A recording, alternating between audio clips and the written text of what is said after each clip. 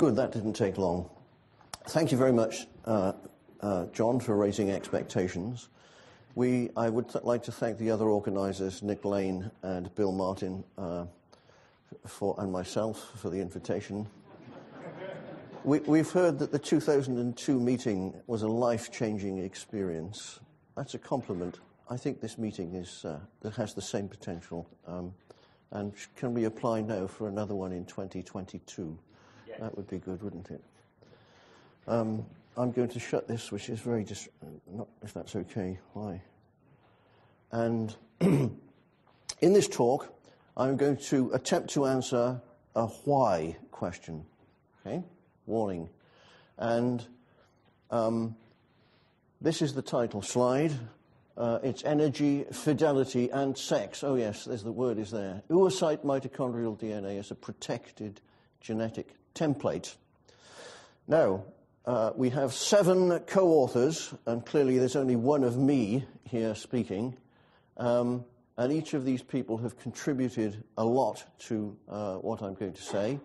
This is not to say that they necessarily agree with the conclusion that I've come to on the basis of experiments they helped us do. So they, by agreeing to appear, they've signed a blank check. Um, Ahmed Noor Agip, Fanis Missirlis, um, who's now at Cinvestav in Mexico, Rachel Ashworth, who's still at Queen Mary but will still soon be moving to Barts in the London uh, School of Medicine and Dentistry from Biological and Chemical Sciences. Kathy Lucas from the University of Southampton National Oceanography Centre, uh, Hema Vizcay-Barrena at King's College London uh, Centre for Ultrastructural Imaging, and uh, Wilson de Paula uh, at Queen Mary University of London, who is the lead investigator in this, and in a sense he should be speaking because the res- new results I'm going to present um, are pretty well all obtained by Wilson. You'll be hearing this name several times during my talk. Um, I want to start with, if you didn't know, mitochondria. Uh, it's not mitochondrium, which is what Scandinavians think is the single. I don't know why it's Greek. They, they power animal and plant cells. I like to think of them as domesticated bacteria. As we domesticate wild species for our own purposes, the first thing we do is control their reproduction. This is what the eukaryotic cell did with mitochondria. And during this domestication, the bacteria that they once were relinquished many genes to the nucleus of the host cell. Um, and there are no few genes left in mitochondria 13 protein coding genes in the case of vertebrates, perhaps even all animals, including mammals, including humans, encoding a lot less than 1% of mitochondrial proteins. And so, why didn't all the genes leave? Um, I proposed, and this was 10 years ago, uh, this hypothesis, which I called CoRR. The genes, certain genes could not leave because they had to be co-located with their gene products to permit redox regulation of precisely the kind that Carl Bauer told us about so beautifully for photosynthetic uh, bacteria uh, earlier today. And um, this, I'm not going to, I could spend the rest of the day telling you about this, but briefly, the predictions of the CoRR hypothesis include redox regulation of mitochondrial gene expression. It applies equally to chloroplasts, of course, but for, for mitochondria, we predict redox regulation of gene expression by means of redox signaling components inherited from the ancestral endosymbiont. Number three, when mitochondria lose their function in energy conversion, they also lose their genomes because that's why they've kept their genomes. Um, and if you want uh, the definitive Ten Commandments, as people put it unkindly, there's a, a page on my website um, where you can hear more about that. I'm going to summarize. Once upon a time, there was a bacterium with a respiratory electron transport chain plugged into its uh, plasma membrane and then outer membrane. All the proteins are colored uh, sort of brown. Um, the genes are colored brown just for illustrative purposes. The DNA makes RNA, makes protein, which is assembled into these complexes which carry out energy transduction. Um, and I want to say that redox regulation, in other words, feedback from biological electron transfer to control gene expression, is fundamental and important uh, and is in all bacteria. And it was in this bacterium. And then after it became an endosymbiont, um, here was the host cell. The bacterium hadn't noticed yet that it had become an endosymbiont. It just kept on doing this. But over a period of time, there was relocation of genes to the nucleus to make precursor proteins for re-import back into the same location in which the original gene products had been, in what, in what had been a bacterium. And it's now the mitochondrion, and it's the mitochondrial inner membrane. And the color coding, which is brown for mitochondrial DNA encoded uh, and light uh, yellowish color for uh, nuclear encoded and imported as a precursor, um, explains roughly what is going on. And this is a sort of Mickey Mouse um, cartoon, and I've hastily uh, uh, redrew Complex 1. Um, uh, that's not it. This is the obsolete version from 10 years ago in the light of uh, Sazanov giving uh, a wonderful talk here this morning. Uh, and that actually is the paper that came out of the, the, the, the meeting in 2002, um, where I drew, for which I drew this diagram. Now, if that's correct, it provides some sort of explanation of why mitochondria still have genes and why chloroplasts still have genes. They could have got rid of everything, uh, but they didn't. Why not for redox regulation? But having genes in mitochondria uh, comes at a serious price. There is a penalty. And the penalty is that respiratory electron transfer is inherently dangerous. Toxic uh, intermediates are produced. And errors in electron transfer occur with fixed frequency, just in, as in complex 1, as we heard in the first lecture. Transfers to the wrong electron acceptor, where wrong is in inverted commas because chemistry doesn't know right and wrong, it just does it. But it happens, and the products of these reactions damage mitochondrial genes, which then produce defective proteins, which then make more errors in electron transfer, um, you can see where this is going. Damaging more genes, making more defective proteins, and so on.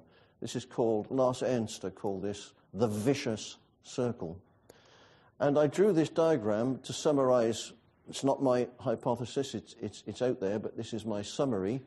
Um, having DNA in a, mitochondrion to make respiratory chain proteins means that any mutation here will produce a defective protein which other things being equal has got a greater chance of transferring an, its electron, if it's a redox carrier, onto oxygen as just one electron, which is the wrong thing to do because it makes the superoxide anion radical, which is itself mutagenic, as well as spawning a whole series of reactive oxygen species, which are themselves mutagenic. If you mutate mitochondrial DNA, you'll get more defective mitochondrial encoded proteins, and so on, and around it goes, and this will at the end produce nuclear cytosolic damage. And there is a, a broad feeling, and I think a lot of evidence in support of the proposition, that this is why we grow old and eventually die. Because in order to make ATP, for everything we do, we pay the penalty of gradually destroying our mitochondrial DNA, and in the end, there's nothing that evolution can do except throw away the individual and start again. And so, even without that mitochondrial theory of aging, the mitochondrion is the worst imaginable place in the cell to keep genes. It's a highly reactive, um, redox active uh, compartment. And whatever the reason for the persistence of mitochondrial genomes, it had better be a good one.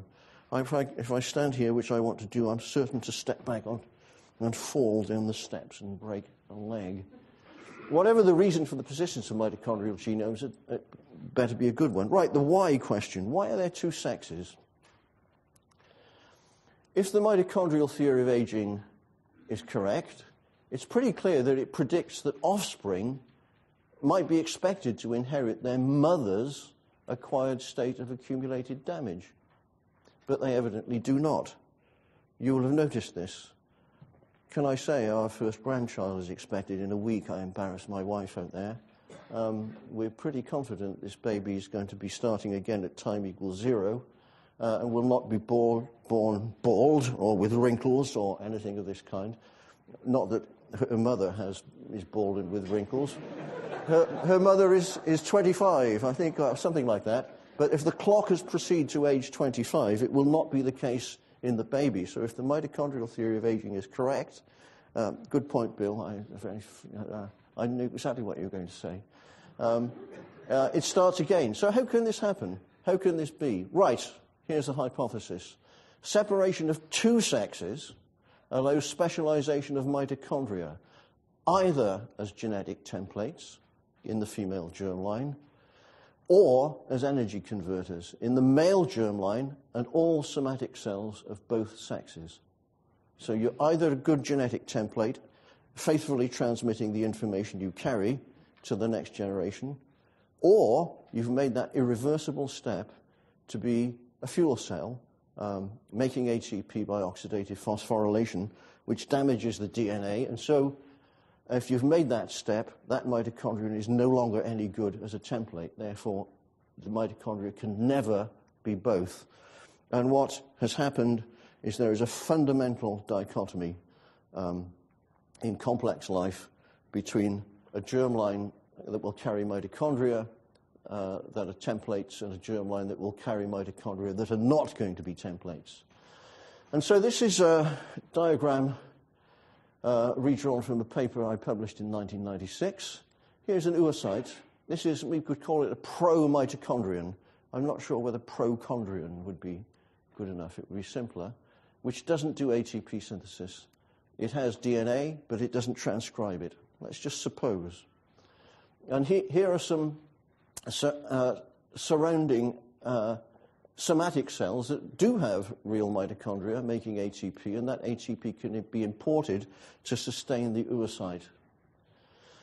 Now, fertilization uh, occurs for reasons that geneticists will tell us about to do with recombination of genes so that a haploid nucleus can join with another haploid nucleus to make a new diploid individual. Fertilization requires motility but it requires motility of only one gamete. Motility requires ATP. ATP requires oxidative phosphorylation. The motile gamete is the sperm. It must have energetically competent mitochondria, which by definition are no good as templates. Therefore, mitochondria are maternally inherited because the template is what has to be passed on. So we have the zygote, and the prediction then is that the female somatic line uh, of cells, including everything in the, in the female, including ultimately the helper cells of the next generation, uh, contain the mitochondria that have differentiated to perform oxidative phosphorylation. Males, the whole thing contains mitochondria that have differentiated to perform oxidative phosphorylation, the germ line and the somatic line. But, and here's the key prediction, the female germline carries with it a sequestered population of cells that carry only that template at mitochondrion, and that template mitochondrion survives to the oocyte of the mother of the next generation. And so on, there's a, a, a life cycle of template mitochondria which is supported in order to populate uh, the whole of the rest of the, ne- uh, the, the next generation. And therefore, we would predict that oocyte mitochondria are, have, are repressed in transcription and are bioenergetically inactive. Oh, and that's female, the female line, and that's the male life cycle of mitochondria. Um, and that was published in 1996, uh, and it just sat there, uh, and it was one of these papers that produced a sort of staggering lack of interest from pretty well everyone except Nick Lane, to whom I thank for uh, reviewing this in his book, Oxygen, first of all, Oxygen, the molecule that made the world, thereby saving this hypothesis from oblivion, actually. I, it's probably where it would still be. So, mitochondria are maternally inherited. I call this a prediction. We already knew that, but an explanation is a hypothesis of something we already accepted but couldn't provide an explanation for. And that's a kind of prediction. Females, we might expect, would still have a time limited reproductive capacity. Oocyte mitochondria might um, accumulate enough free radical damage eventually, even as genetic templates. to exceed a certain threshold of damage. So, in other words, uh, females can't go on producing viable oocytes with template mitochondria indefinitely. Another consequence, and, and this, again, this is for experimental investigation, somatic reproductive cloning will produce bracket, uh, uh, commas, elderly offspring if somatic mitochondria are inadvertently introduced into the oocyte. A famous example is Dolly, the first cloned mammal, who died at the age of six of, age, of uh, diseases that would not normally occur in uh, a until the age of 12 or 13. Could have been that that's what happened there. Don't know. One could have to investigate that. And experimental predictions. Oocytes, eggs, carry protected template mitochondria, which are sequestered at an early stage in female development. So if this is the picture of the mitochondria and this is the redox regulation, let's look at the mitochondrial electron transport chain. See, I redrew complex 1. It's still terrible, but it's not quite as bad as, uh, uh, as it was before. Mitochondrially encoded, nuclearly encoded. Mitochondrially encoded, nuclearly encoded. Mitochondrial, nuclear, mitochondrial, nuclear. Broadly correct, and the number of subunits is not quite right, and the shapes and so on are, are pretty um, hopeless as well. But that's broadly the respiratory electron transport chain and the mechanism of oxidative phosphorylation, where electron transport establishes a proton motive force, which is used to drive ATP synthesis. It's that, and the blue arrow represents electron transfer, and the red arrow is proton translocation.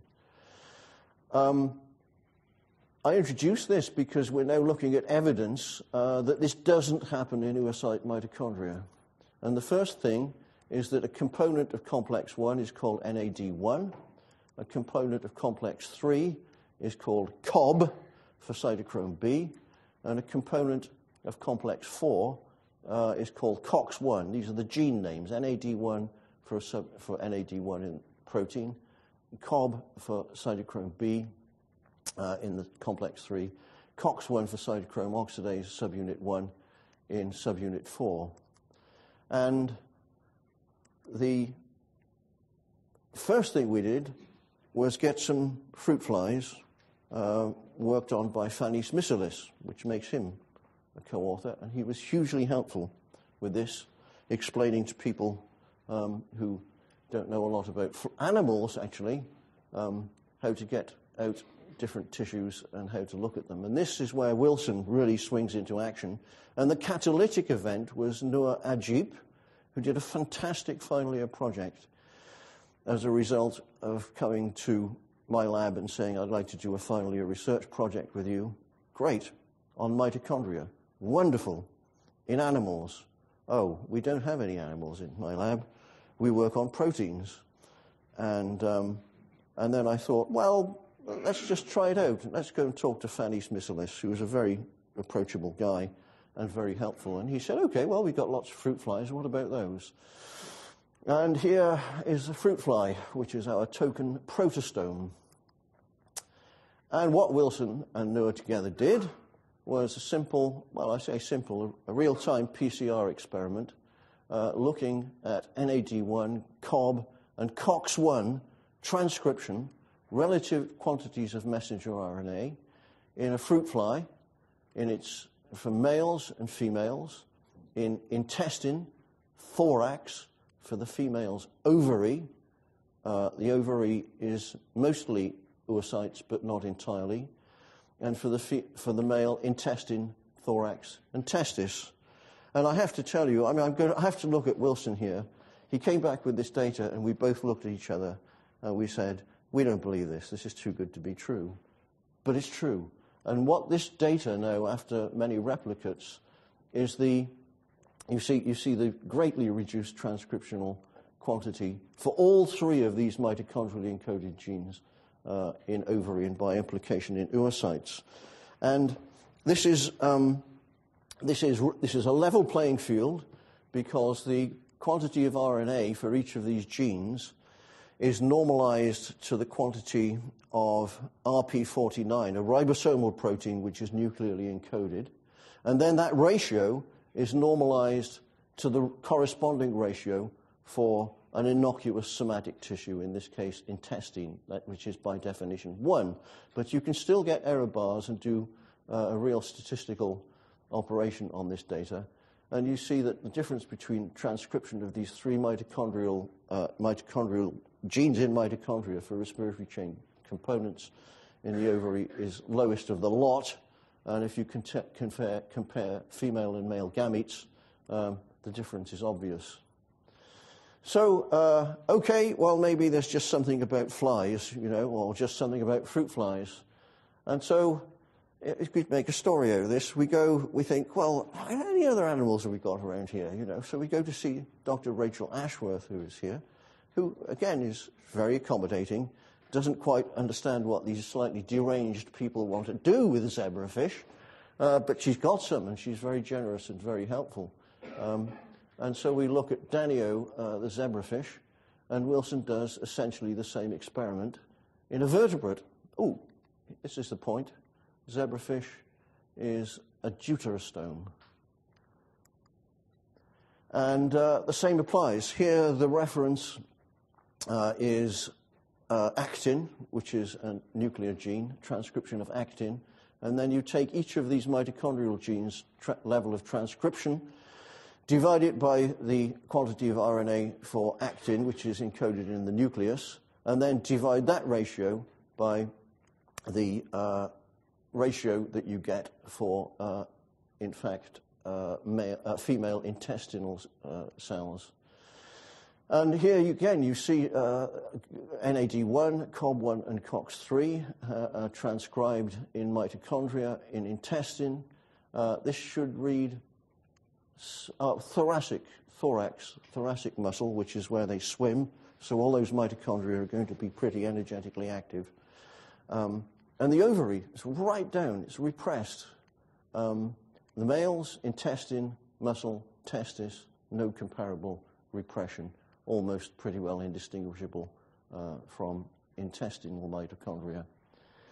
So, well, you, one could sort of rest on one's laurels at this point, and, um, and a wonderful good colleague called Rob Hughes at Queen Mary was sort of pretty well there. He said, well, why don't you try a cnidarian, he said.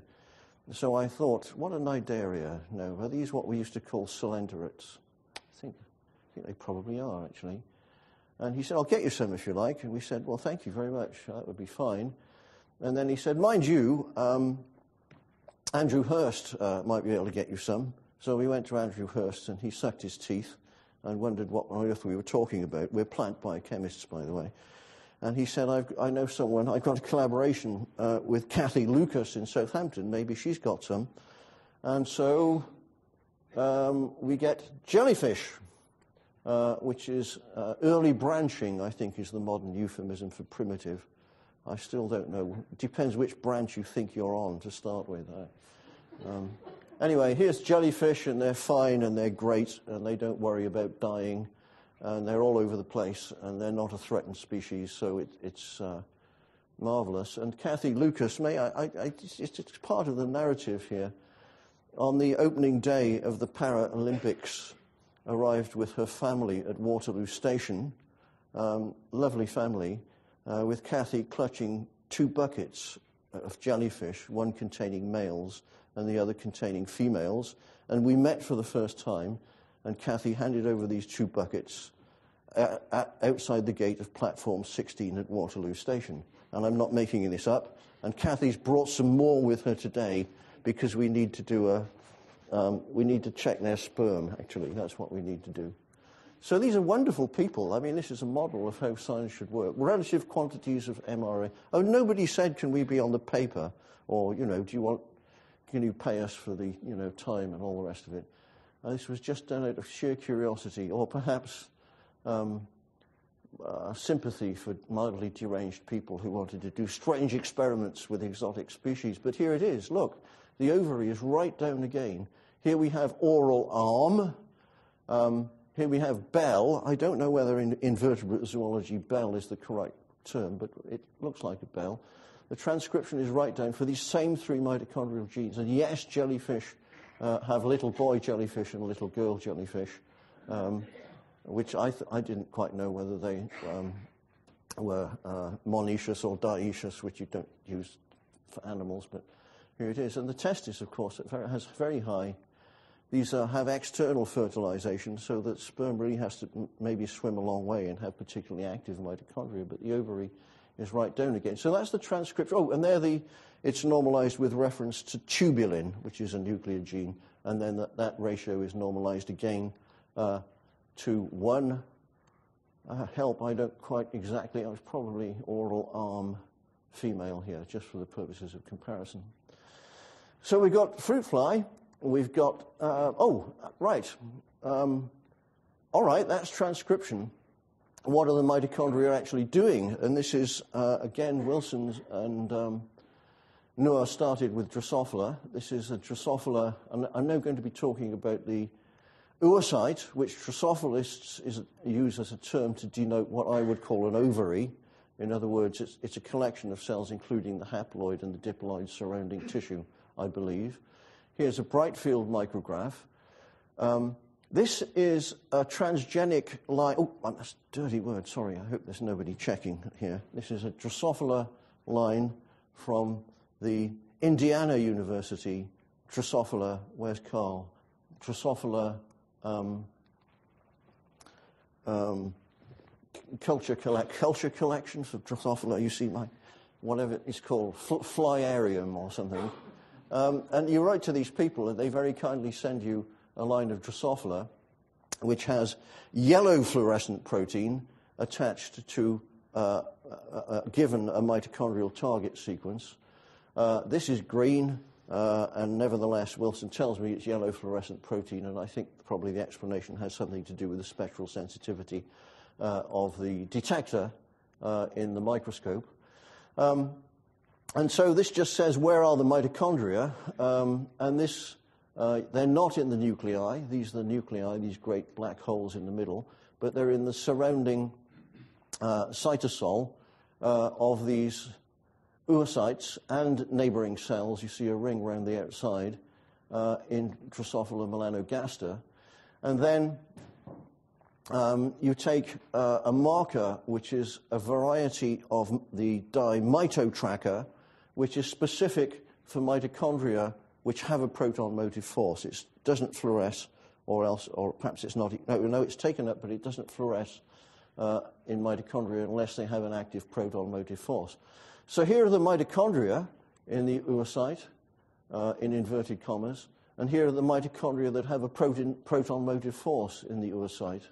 Can you tell the difference? These are the surrounding diploid uh, nurse cells with their active mitochondria, which you see from red, and you do the overlay, and you get this. So green is all mitochondria. Green plus red tells you where there are mitochondria that also have a proton motive force. And it's perfectly clear that the haploid oocytes have mitochondria, but they don't have a proton motive force. So we've got to do that with zebrafish now. I mean, just in case this, it's all gone wrong. Bright field, in zebrafish, there is a, a, a GFP mitochondrial line of zebrafish. You have to purchase it from Korea. This is illegal. You can't import it into the UK. I have no idea why. And it's South Korea as well. So I think the strategic implications of getting uh, GFP mitochondrial labeled zebrafish from South Korea are rather small, but it's not allowed. You can't do it. If anybody's going to Korea, and doesn't mind. Oh, no, no, I mustn't say that. so this is just mitotracker this time, um, which tells you where the mitochondria are. Mitotracker green, and this is mitotracker red, which tells you where the mitochondria are that have a proton motive force. And I'd like to see the chemical explanation of this, but it's in the literature. Um, so we have to hold on to, you know, little bits of accepted uh, bases, premises for our argument. And this is the overlay of this. Oh, I should have said this is the overlay of this and this at twice scale, 25 micrometers. Um, so zebrafish mitochondria in uh, a zebrafish ovary look like this. And again, there are lots of green ones that report that there are mitochondria present. But the red ones that are reporting that there are mitochondria with a proton motive force are only ever around the periphery of the, uh, the egg cell itself. The egg cell has bioenergetically inactive mitochondria. Zebrafish, well, jellyfish. Let's see. And here the bright field microscopy uh, makes the jellyfish egg cells look this, like this. The mitotracker green says where are the mitochondria. The mitotracker red says where are the mitochondria that are sustaining a proton motive force. The haploid egg cell has mitochondria, but they're not actually uh, generating a proton motive force. And that's the overlay of that one plus that one. So you, again, you can see the color contrast here. So, um, ah, next, next set of experiments, back to fruit flies. Well, this is all very well, but what are the mitochondrial morphology? Well, this is Drosophila flight muscle. Uh, this is what I call a mitochondrion. I mean, you could put this on the cover of a book. I mean, that's, that's just great. I mean, cristae and the whole works there. And it's big, and it's na- on, just on the neighboring, adjoining uh, a real skeletal muscle, which enables the Drosophila to fly around, which is demonstrably an energy requiring activity. This is the Drosophila oocyte, same scale, 500 nanometers. That's what the mitochondria look like. That's one mitochondrion in a Drosophila oocyte. That's the same mitochondrion, but in the Drosophila flight muscle. What do you think's going on there? Not a lot. Um, whenever looking at oocytes, you always see the things completely uh, packed with ribosomes, ready to, to go, awaiting instructions to begin protein synthesis after fertilization. This is the nucleus here. Um, zebrafish, don't labor the point.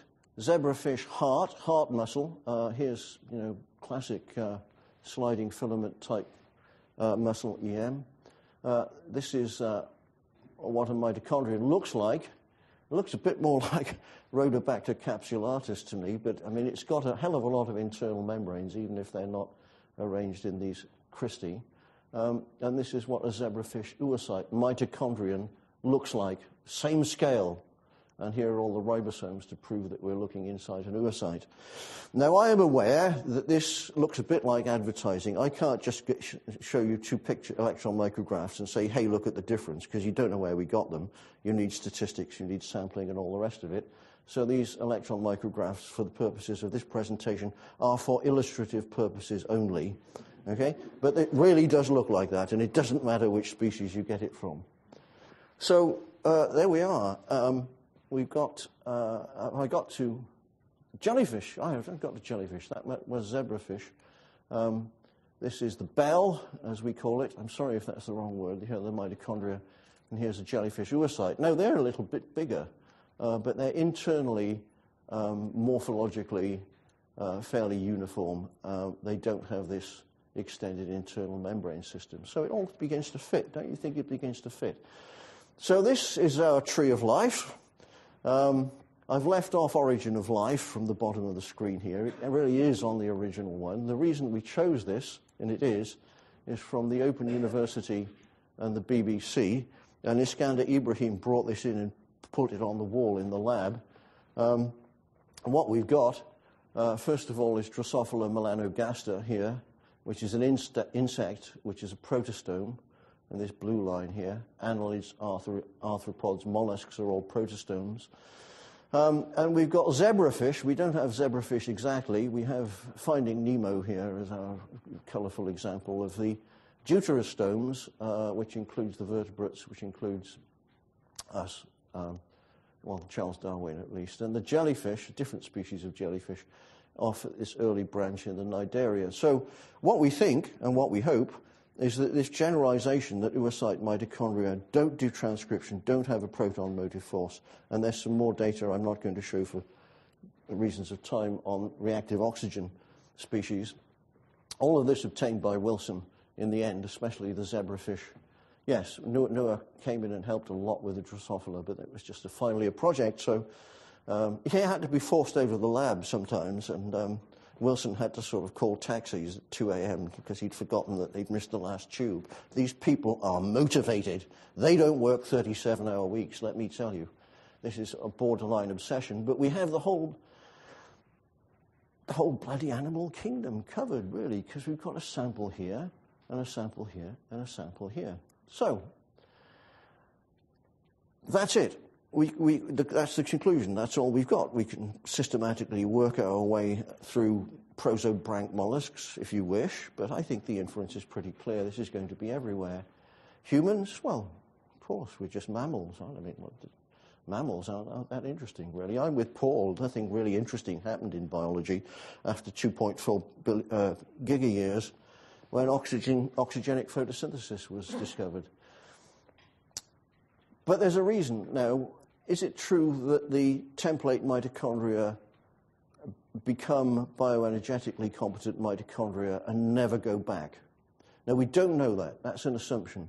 We need to do more research on that.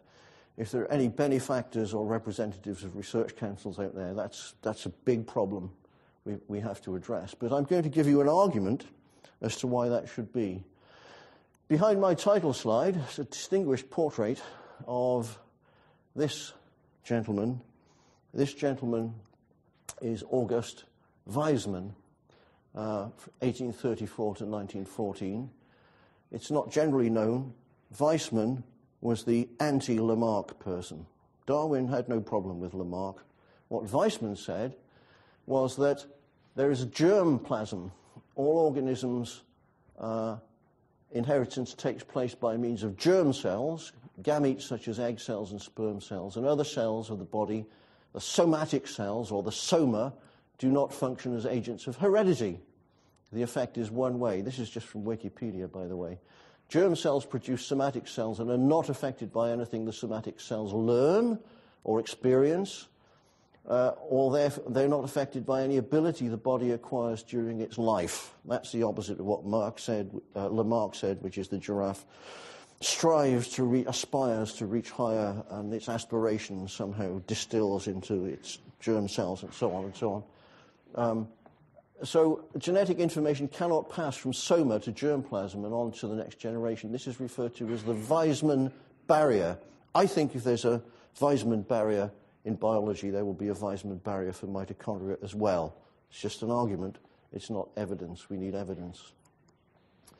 And I got this actually for three and six from W.H. Smith in Newport Mon, my hometown, uh, when I should have been revising for my A levels, I bought John Maynard Smith's The Theory of Evolution, uh, second edition, and he put this very clearly. Uh, germplasm makes soma, germplasm makes soma, germplasm makes soma, and germplasm comes only from pre existing germplasm. And this was the so called central dogma Everyone agrees that's a stupid name for a scientific theory because there is no room for dogma in science. And I think it was a joke on the part of Crick, or at least a reference to his classical education, because in Latin, dogma doesn't mean certain truth that stands irrespective of evidence. It simply means a proposition or something you hold on to as a basis by which uh, mean to advance an argument.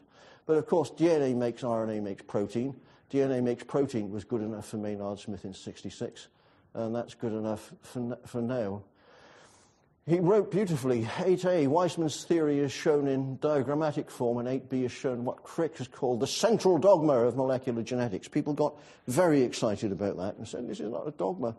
A dogma which states that information can flow from nucleic acids to proteins but cannot flow from protein to nucleic acid. So that would be the Weismann barrier. Uh, accepting, I mean, a poem here was uh, Maynard Smith's PhD student, accepting for a moment the truth of the central dogma, it could account for the correctness of Weismann's view in the following way. If an organism is raised in a new environment, this may alter the relative amounts or dispositions of different types of protein molecules. As a biochemist, I think that's okay, actually, in such a way as to render the organism better able to survive in the new conditions. But if the central dogma is true, this cannot cause an equivalent change in hereditary material or DNA, and so cannot cause the adaptation to be transmitted to the next generation. Um, so there we have it. And what I would submit is that mitochondria, we've studied them. The pioneers isolated them. They did the biochemistry. The Krebs cycle is in there oxidative phosphorylation in there. Mitochondria are thought of as biochemical entities primarily, and there was a lot of resistance to the idea that they had genes at all in the 60s. Um, Jeff Schatz, uh, okay, no, there were other people who showed that there was DNA in there, but I'll come back to Jeff in a moment. So we think of mitochondria as the embodiment of the soma. They produce all the energy. That's all they do. We don't think of them as carrying uh, units of information onto the next generation, but they do. And I would say the Weismann barrier applies to mitochondrial transmission just as much as it applies to the transmission of nuclear genes. And so Wilson not only has done all these fantastic experiments, but he's produced this uh, diagram uh, rather similar to the one I showed you before, but much nicer. Template mitochondria. Oxidative phosphorylation occurs in the sperm, which produces, allows fertilization, which produces a diploid zygote. 2N means uh, diploid. The mitochondria are still oocyte mitochondria for all practical purposes. And then in embryogenesis, there is a sorting of mitochondria that uh, go off uh, to the right to make male somatic cells, and then the male germline, and then uh, meiosis for the sperm to be equipped to fertilize an egg next time round. Um, and then uh, the female somatic line, the same applies. There's nothing wrong with females' mitochondria. Uh, they make just as good human, in human terms, athletes as anybody else. Um, but suppose the Weismann barrier forbids the conversion of one of these mitochondria into one of these mitochondria. What you'll have to do is have a continual female germline. And, and then, of course, follicle cells will be somatic helper cells, which will provide the ATP to help out the mitochondria that are able to do oxidative phosphorylation themselves. And when you've got to that state, you can have uh, meiosis uh, and create a female gamete ready to be fertilized by the male gamete the next time round. So, am I overrunning? Mitochondria evolved from bacteria. They're chemical fuel cells, they're not batteries, they're fuel cells that provide all our energy. They retain their own genes and genomes in order to do so, and they mostly destroy themselves and eventually us in consequence but they exist also in female gametes, oocytes, eggs, as quiescent, protected genetic templates, incapable of energy conversion, and from which all other mitochondria derive. And I think we've established evidence in favor of that final proposition. If this is correct, male, I learned at school, is that sex which produces a large number of small, mobile gametes. Female is that sex which produces a small number of large immobile gametes. I'd like to propose something simpler. Male is that sex in which gamete mitochondria perform oxidative phosphorylation. Female is that sex in which gamete mitochondria do not perform oxidative phosphorylation.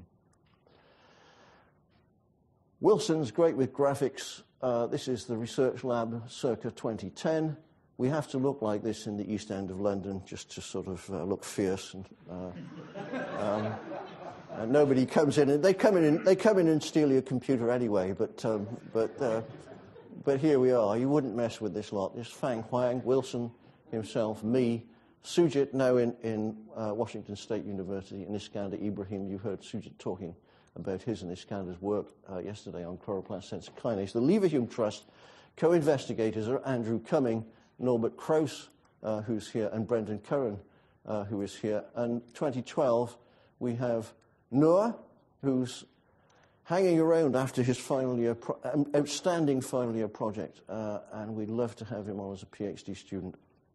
Um, and then we have uh, new recruit Liang Wang, funded by the uh, China Scholarship Council. Um, I've got to spend a little time on acknowledgements, uh, if you'll allow me, Mr. Chairman. This is the Leverhulme Trust Research Group meeting. Uh, this is the lot of us. These are photographs of people you can actually recognise rather than the mafia mob uh, standing on top of Mile End Bridge. Um, there's um, Fang, Noor, Norbert, me, Brendan Curran, Andy Cumming, Wilson de Paula, uh, Sujit, and Iskander Ibrahim. Um, acknowledgements, Queen Mary University of London, uh, and uh, there are facilities and resources, zebrafish, Drosophila microscopy, uh, which we're grateful for.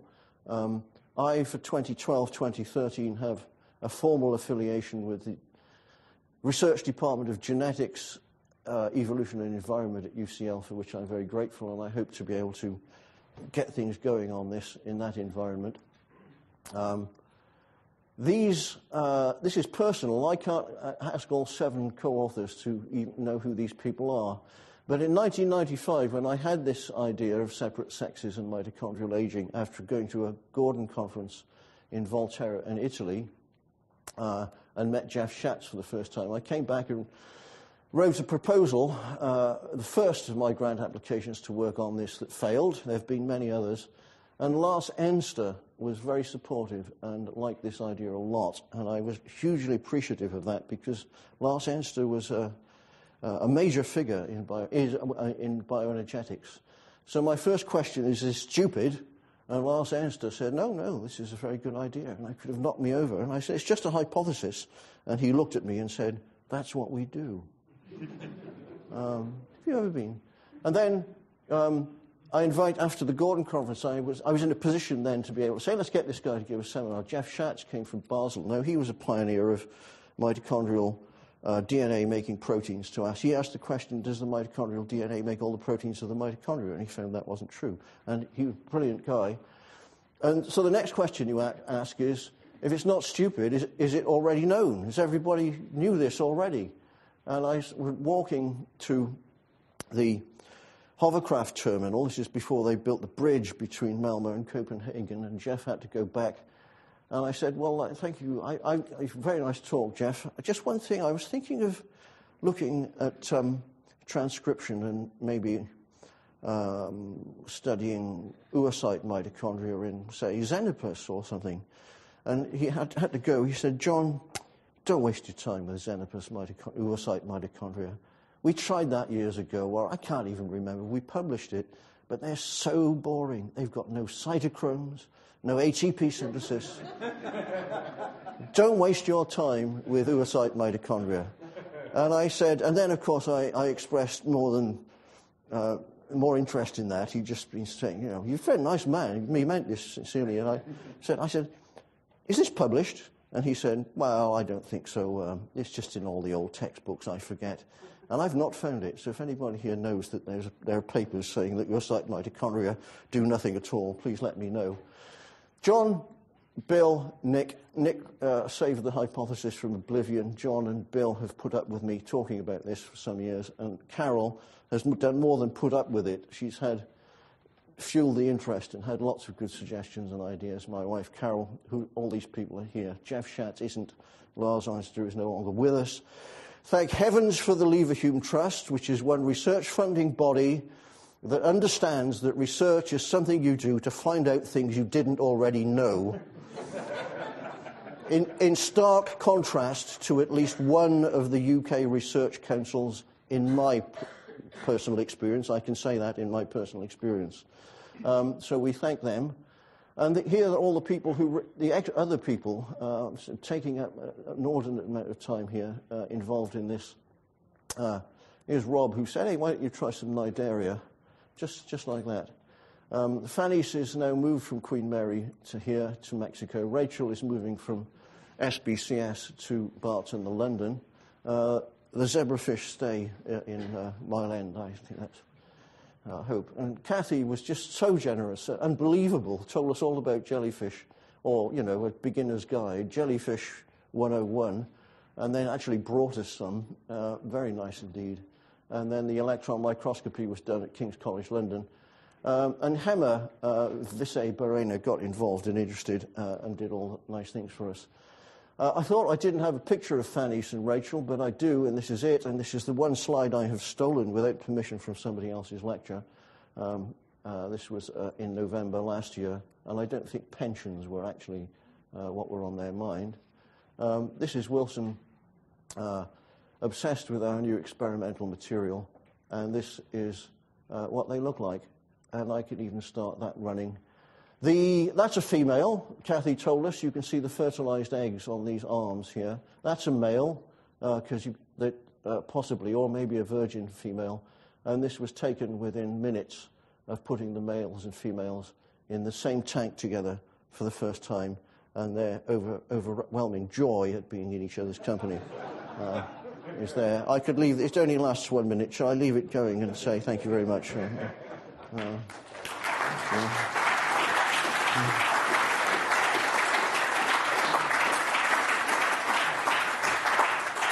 Thanks very much, John. At the risk of annoying those who uh, have doubtless have the lunch ready for us, we must have a few questions on this. So sorry, I've, I, I've overrun. I always do that. Yeah, yeah. Yes. A question here? Uh, David Lloyd, Cardiff. John, you said there's not much going on in these oocyte mitochondria. Do you think perhaps there's an analogy that we know more about, and that is the mitosome of these low oxygen eukaryotes? I mean, might, one might predict that the only thing that's going on in there is the synthesis of the iron sulfur clusters.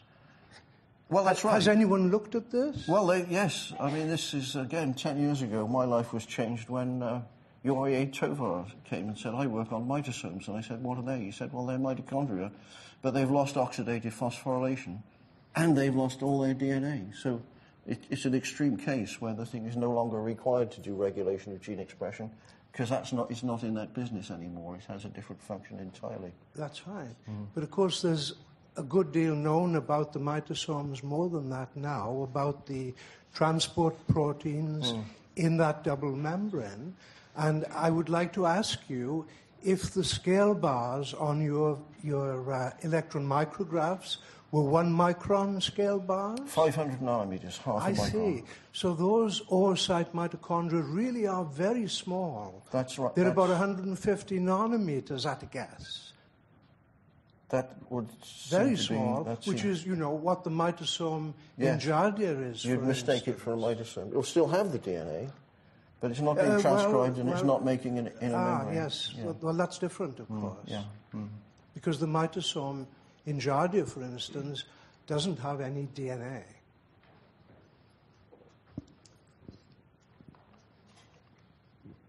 Thank you. Uh, Nick Lane, UCL. Um, beautiful presentation. Uh, beautiful Don't believe a word of it. uh, having having um, saved the, being accused of saving it from oblivion, which is not true at all.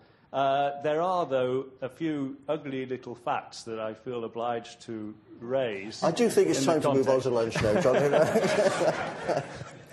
Uh, I mean, ju- just, just thoughts. I mean, this is, this is not necessarily uh, opposing the theory, but they're things that I don't see immediately how it would explain. So there are plenty of isogametic species among single-celled eukaryotes around, um, where the two gametes are exactly the same and they're both motile, but only one of them passes on the mitochondria. Um, so you have, in effect, if not two sexes, at least two mating types Yes. uh, but both are motile. Another question is, what about chloroplasts? They're also uniparentally inherited, but not involved in motility either, and sometimes they're inherited paternally rather than maternally. They can be inherited down the opposite, In- uh, in the opposite uh, for example. And then thirdly, um, mutation rates uh, vary enormously between species. So Drosophila, uh, the evolutionary rate of mitochondrial DNA is about double the, the, the, the nuclear average, whereas in, in primates it's about 40 times faster. In birds it's somewhat slower. Uh, it seems to be under selection. How do you account for uh, a, an inactive template? So just, que- just questions, but... Uh, A- Absolutely. I mean, I agree. I mean, I, I have no answer to. I mean, pertinent observations that are not accounted for by this hypothesis, which doesn't mean to say it's wrong. It means there are other things we haven't taken into consideration. That's my um, defence, really, Nick. So a question just behind? Okay, right. Um, any further? Oh, is there a question at the back there? Two questions at the back. I've, I've got the microphone, so can I ask a question?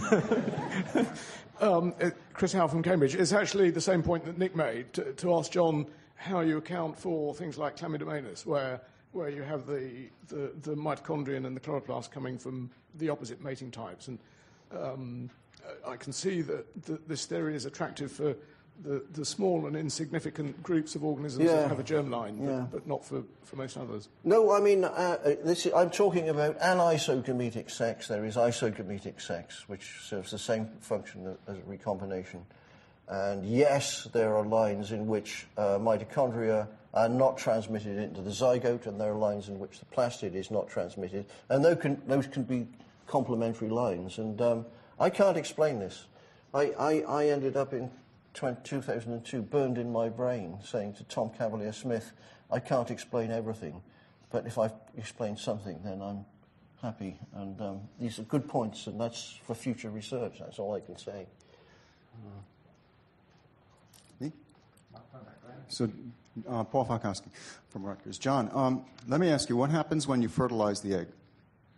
So, what do you do? You imagine now that the mitochondria, which are lined up next to all these ribosomes and Yep. have to be activated very rapidly in order to produce a huge amount of ATP, or then there's one mitochondria that's sitting out there doing nothing?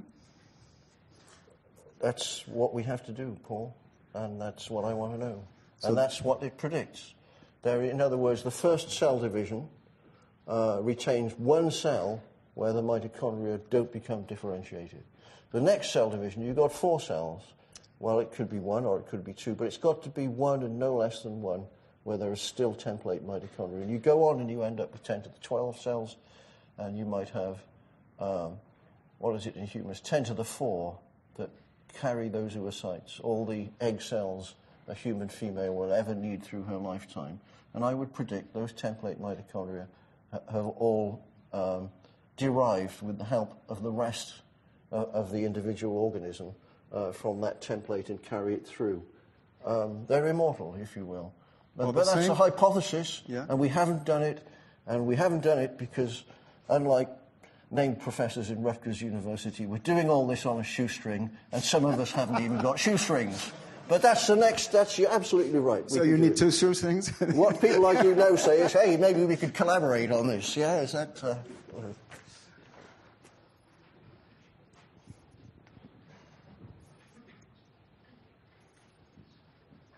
Uh, John, since this is a hypothesis driven um, a model of yours, I was wondering if um, is it possible that even on, on organisms, single celled organisms like Chlamydomonas, which have, you know, the question is where, where does that mitochondria come? Could you have just maybe one mitochondria in a cell that is actually dedicated to be a germline type mitochondria that may not be respiring? Yeah, Because yeah, these cells I- are packed with mitochondria. You can have you know hundreds of mitochondria. I think there's- I There think could be some evidence for dedicated uh, ones just for just for transporting with the chromosome.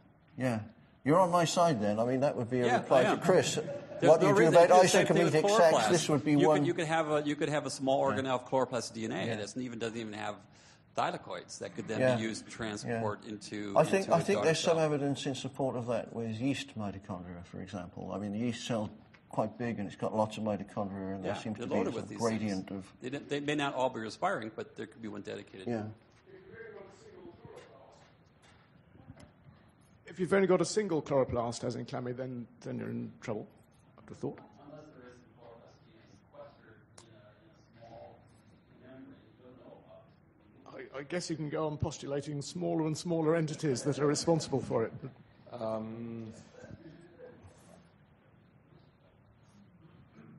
There's a guy in I've got the microphone. Can I take the question? There's Uh, Bill Martin, University of his Bill hand Martin. up. So, uh, uh, Chlamydomonas is an interesting example. Chlamydomonas is actually basically has the physiology of a soil bacterium, though, right? You don't isolate it from ponds; you isolate it from soil, and um, and it's actually the most versatile anaerobe that we know among the eukaryotes. If you grow Chlamydomonas anaerobically, it basically turns into Trichomonas and produces hydrogen and acetate. So, thinking in that line, and having worked a good bit on anaerobic mitochondria myself, I was wondering whether there's not a prediction here because you're focusing on reactive oxygen species that this tendency should be more pronounced among oxygen specialists than among the many protist and some lowly animals that tend to inhibit low oxygen or anoxic environments. So that is that's something to think about. Also, with respect to, to Chlamydomonas, just Well, a thought. Wilson- Just thought. So I'm on your side. I want Wilson to say something because he's pointed out that yeah, the protists that are anaerobic, have anaerobic mitochondria shouldn't have sex. If this is correct, um, I've said it now. Sorry, sexes, sexes, separate sexes. Yeah, and that's. I mean, do we know this? Does anyone know this is wrong? They have mating types. They have strict mating types. Yeah. And, and nuclear inheritance of mitochondria. So, I think, I mean, one, sorry, can I, can I just take the microphone for a moment? One, I mean, one major difference, John, I, I think is simply population size. So as soon as you have uh, as soon as you have large um, organisms with a germline and a soma and so on, um, then selection becomes much more difficult than it is in a very large population where you don't necessarily have to have an inactive template. Um, simply selection in a large population may be strong enough. So there are other factors to consider. I'm not, I'm not opposed to the idea, but I mean, there are, there are questions. But I, I think you're quite right. You have to focus on the germline. Um, but it doesn't necessarily account, therefore, for two sexes because you still do see two mating types, even in isogametes. So it's a question of how far can you take the interpretation. Yeah, yeah. I'm talking about male and female as we, as we Yes. higher organisms to make you feel proud, understand this. And it's pretty well distributed. I mean, they're hermaphrodites as well and, and so on and so on. But uh, that's really what my remit is. I just wanted to put in the, in the middle also the um, mitochondrial cloud and uh, atresia, in the sense there are, there are, it seems there to be a mechanism to uh, select uh, within the germline good mitochondria. Somehow. Right. What a good mitochondria? So- doing oxidative So in the phosphorylation or sense doing also- nothing at all. I would say doing nothing at all. Uh, so, in the sense, how come they do nothing? So they should be well conserved. They have also internal selection to get the best, and still they have a high rate of, of substitution. So You know, this, I, I just think this is, it's like Darwin said, nature is red in tooth and claw. It's mixing up a scientist with a poet and coming to a silly conclusion. It's not. It's much more subtle than that. You don't have to have a mechanism in oogenesis that says, okay, we're only going to let really high rates of oxidative phosphorylation through here. That's looking at it in the wrong way. We don't do that when we make gametes. It's, it's, it's gentler, it's cooperative, it's, it's good. Um, do I sound like an ecologist? I'm sorry if so. You know. You're not involved in, in, in restructuring in British universities, for example. I mean, uh, And then we have to go to lunch. I'm a little bit puzzled why you, in your model, propose that the adjacent cells provide ATP. And I'm wondering whether you've thought about elevated fermentative metabolism in the oocytes. Yes, uh, yeah, and me- meta- metabolic shuttling that would allow the ATP produ- to be produced by fermentation in the oocyte. That I'd be very happy with that. We don't necessarily have to have ATP.